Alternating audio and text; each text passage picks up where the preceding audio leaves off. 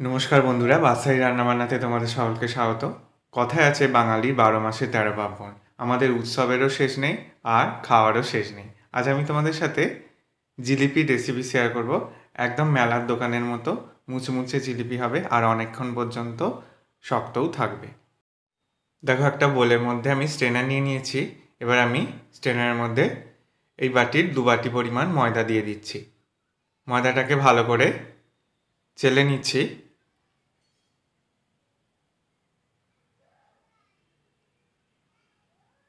ময়দাটা আমার চালা হয়ে গেছে, এবার ওয়ান ফোর চামচ বেকিং সোডা দিয়ে দিলাম, তারপর জল দিয়ে আমি একটা ব্যাটার তৈরি করে নেব।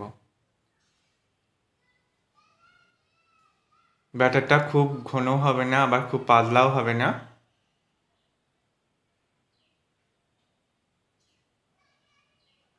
দেখো ব্যাটারটা রেডি হয়ে গেছে, এবার আমি অল্প একটু ফুড কালার অ্যাড করে দিলাম। ভালো করে ফুড কালারটা আমি মিশিয়ে নেব। ফুড কালারটা মেশাতে মেশাতে আমি পাঁচ, ছ মিনিট সময় নিয়ে এই ব্যাটারটাকে ভালো করে ফেটিয়ে নেব। ব্যাটারটা যত ফ্যাটানো হবে, তত জিলিপিগুলো সুন্দর হবে। দেখো কত সুন্দর স্মুথ ব্যাটার তৈরি হয়ে গেছে। ঠিক এইভাবে ব্যাটারটা তৈরি করে নিতে হবে। এবার দেখো চিনি শিরাটা তৈরি করে নেব। চিনি শিরা তৈরির জন্য এই বাটির, দেড় বাটি পরিমাণ আমি চিনি দিয়ে দিলাম। যে বাটি চিনি নিয়েছি, সেই বাটারই দেড় বাটি পরিমাণ জল দিয়ে দিচ্ছি। তাহলে চিনি আর জল দুটোই সমান দেড় বাটি। চিনিটাকে জলের সাথে ভালো করে মিশিয়ে নিচ্ছি। এদিকে আমার চিনি শিরাটা হতে থাক। ততক্ষণ আমি যে ব্যাটারটাকে তৈরি করে রেখেছিলাম, সেই ব্যাটারটাকে এই সসের বোতলের মধ্যে নিয়ে নেব যাতে জিলিপি ভাজতে সুবিধা হয়। তোমাদের কাছে সসের বোতল না থাকলে এরকম দুধের প্যাকেট সবার বাড়িতেই থাকে, তোমরা এইভাবে কাঁচি দিয়ে কেটে নিয়ে তারপর এই যে কোণে অল্প একটু ছিদ্র করে দিয়ে তারপর ব্যাটারটা ভরে নিয়ে, ভালো করে মুড়ে নিয়ে তারপর এইভাবে তোমরা জিলিপি ভেজে নিতে পারবে, কোনো অসুবিধা হবে না।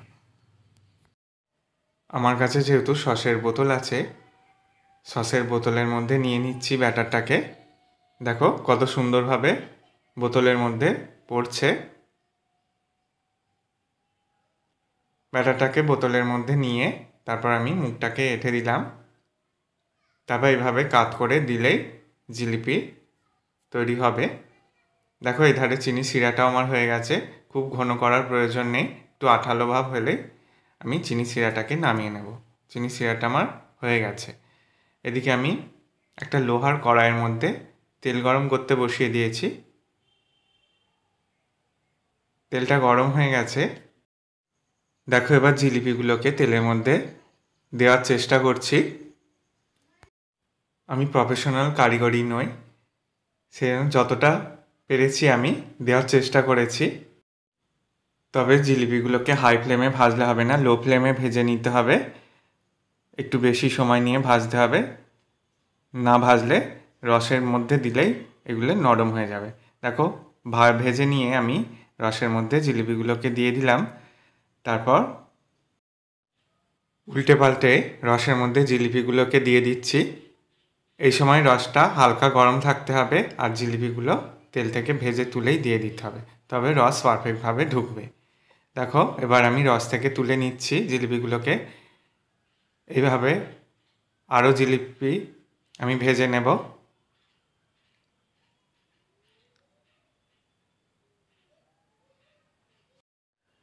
তবে এখানে তোমাদের একটা কথা বলে রাখি।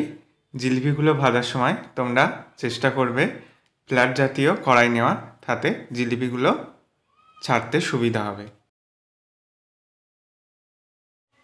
জিলিপিগুলো আমার রেডি হয়ে গেছে, তোমরা আওয়াজ শুনেই বুঝতে পারছ জিলিপিগুলো কত সুন্দর হয়েছে আর কতটা ক্রাঞ্চি হয়েছে।